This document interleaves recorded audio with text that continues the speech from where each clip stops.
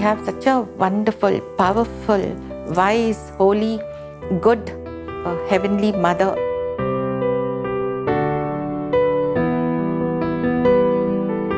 She's the most highly favored of all women.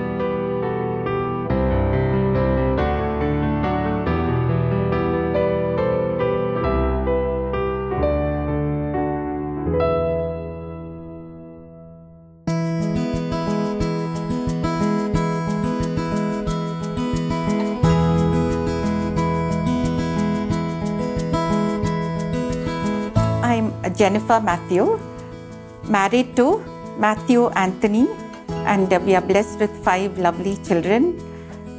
And uh, we are a Roman Catholic family. I'm born in Kerala till about uh, 10 years of age, then came to Bangalore.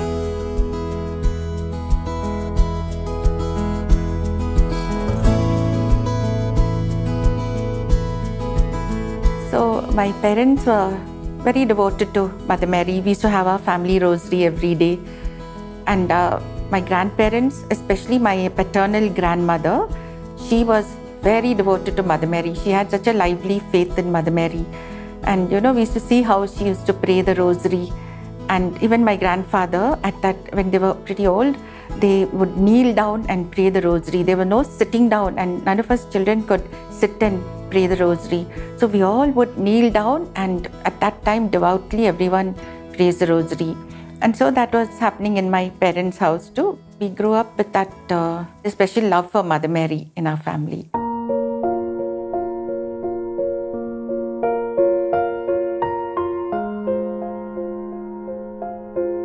When I was quite uh, young, maybe around 10 years old or so, in Kerala, then um, suddenly we heard this, you know, thing about uh, some Naxalites, communists or Naxalites, I don't know what exactly, but they were coming and attacking families of estate owners. And my dad is an estate owner.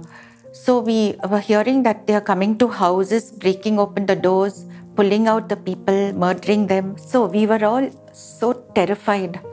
And um, since, uh, and my parents said, you know, we must, all of us must pray for God's, uh, God to protect us, pray to Mother Mary. And so I remember, like during the family rosary, all of us are kneeling down and praying. And I remember me, you know, just really calling to Mother Mary. That's the first time in my life. I just, as if I connected with Mother Mary and I'm calling her, you know, Hail Mary, full of grace, pray for us sinners. Every, you know, every word I'm meaning and calling out to Mother Mary. And I could feel like some power of God also in that prayer. Barely we prayed like that a couple of days, maybe. I don't even remember for too long.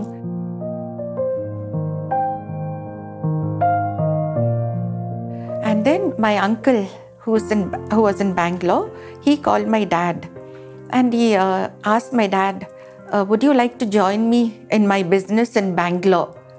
Why don't you come to Bangalore? We'll talk about it. So my dad was like, and my mother, they were quite excited. They said, Okay, we'll come. And so, like that, they came to Bangalore.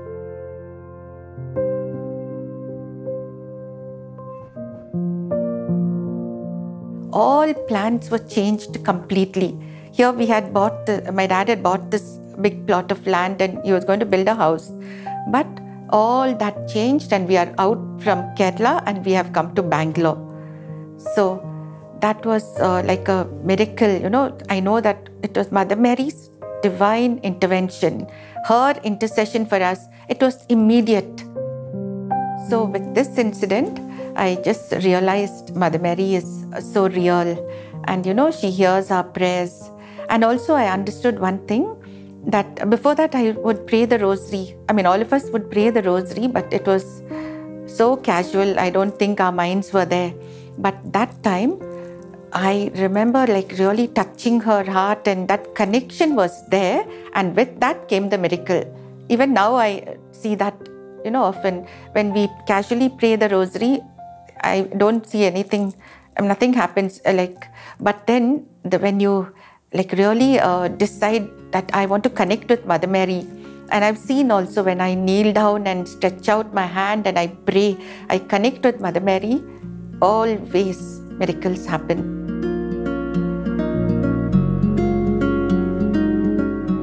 when we were in my uh, maternal grandparents' house, God sent a prophet there. Very old man, you know, 86 year old man, uh, like thin, frail person, but he was so full of the Holy Spirit and uh, he would deliver people. I mean, he was an exorcist. People who were possessed would come there and he would deliver them so powerfully. And you know, then I uh, saw that then we, we would have our family rosary in the evenings. So all the grandchildren come together. So, you know, how, you know, they'll all be giggling, laughing. Uh, so, like rosary time also, they'll giggle a lot. And so, this person, uh, this holy man, he was there. Like, he made us see, like, you know, how you have to just a time to be reverent. And so, like, everyone, like that, a lot of change came with that holy prophet coming there. Then, when we went back to our homes, like each one went back to their place. We came back to Bangalore. I remember in the evenings we would have a family rosary. We all started praying quite devoutly. And I still remember once uh, my mother, and just at that time in the night, we are hearing this um, some strange bird. It's making so much of noise. So my mom, she just uh, she said, I think that's the devil distracting us so that you know like we won't pray. We'll get distracted. So that you know i also realized my god that really seems to be true. So then with more determination we prayed the rosary so devoutly. Every day we were praying like that for some days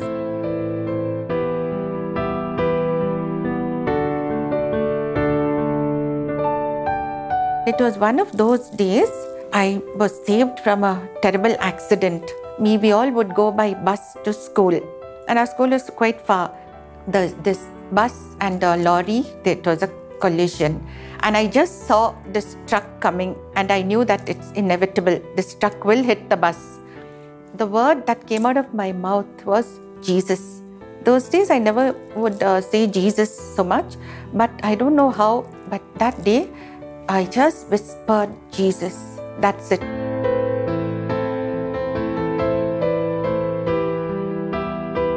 And then when I looked, the bus is upside down, and someone pulled me out from the window.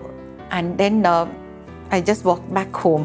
Then, when my mother came and my siblings came and they saw this, they couldn't believe it. And I saw them bringing out so many um, passengers, no, terribly wounded and cut, and I mean, like bleeding and all that. But I came out without a scratch, calling on the name of Jesus.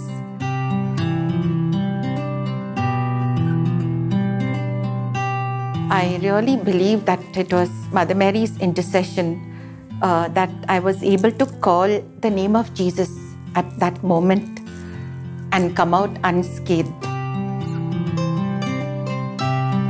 Absolutely true that when we love Mother Mary, pray to her, devoted to her, she will bring you close to Jesus.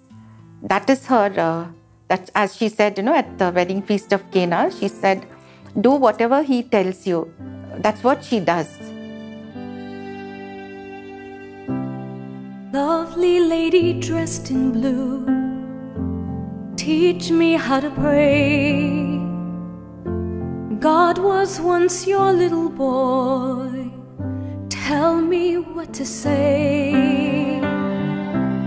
Did you lift him up sometimes gently on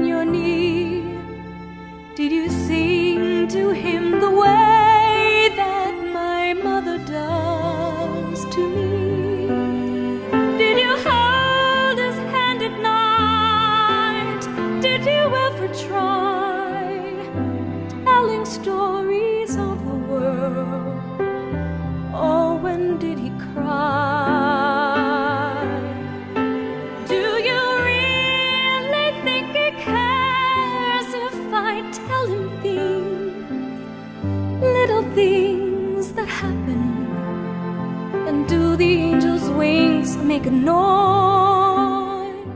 Six years ago, one day, uh, one fine day, like I was de- detected with uh, breast cancer. And uh, my whole world would have fallen apart, the family. But I, we just felt God's presence so much uh, like nobody lost hope, but everyone, like, you know, felt the Lord is there. Jesus, you know, He does miracles and wonders. Mother Mary's um, care is there. And I believe that um, it is only by really by Mother Mary's special intercession that I was able to detect it soon. If I had missed it, it could have been fatal. So I was able to get all the treatment, and even the doctor said, You'll be fine and back to normal. I feel she's with us and everything, protecting us, saving us from all kinds of evil attacks, from all kinds of dangers. You know, even before we know, it's like as if she's already there and she's uh, saving us.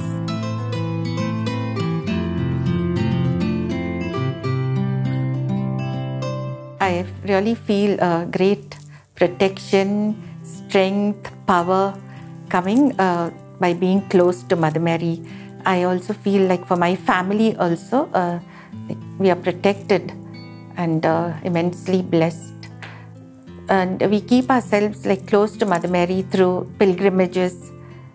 On and off we go for pilgrimages. Then of course the family rosary, then novenas. Feel very confident. Always we get that courage. You know that she is there and uh, you know especially from evil attacks you are protected and your family is also protected. You can you know when you if you sense any kind of danger you just go on your knees and pray the rosary and ask mother mary to take care of that situation. Something will surely happen. You know, she will intervene and divine protection will come divine help will come because she's assumed into heaven her bodily she's taken to heaven. So she's still connected with the earth. I believe that. We have such a wonderful powerful wise holy good mother a heavenly mother who's walking with us. She's the most highly favored of all women. So she just has to say something to jesus and you know something will happen so that's what I believe about Mother Mary and experienced of her. Immaculate Mary, thy praises we sing, who reignest in splendor with Jesus our King. Ave, Ave, Ave Maria,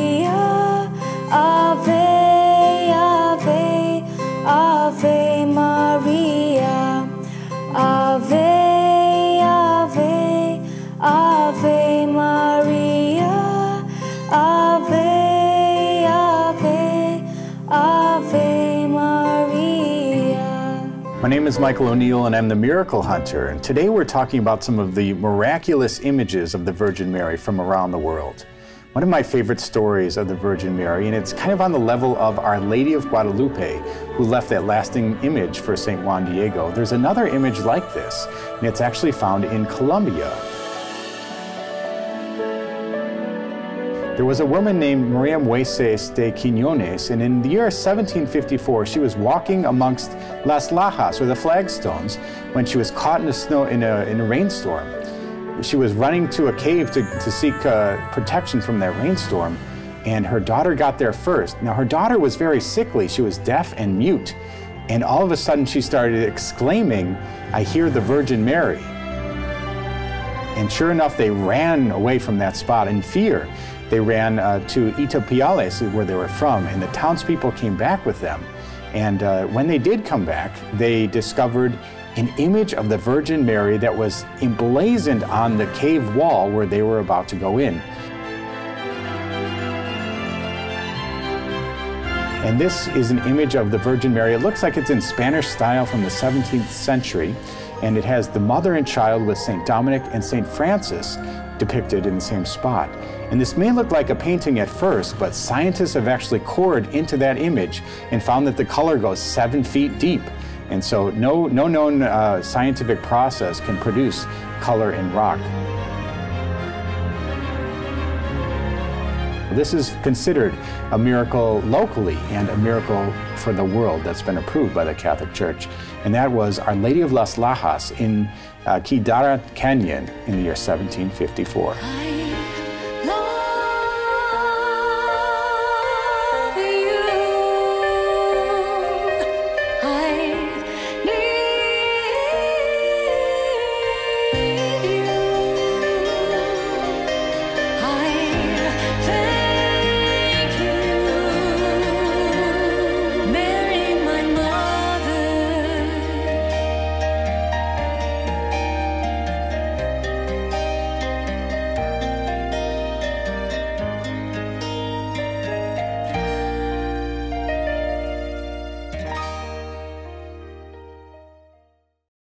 My life is a miracle. Every child has a story of, of God's love to share. Shalom World, tune into God's love story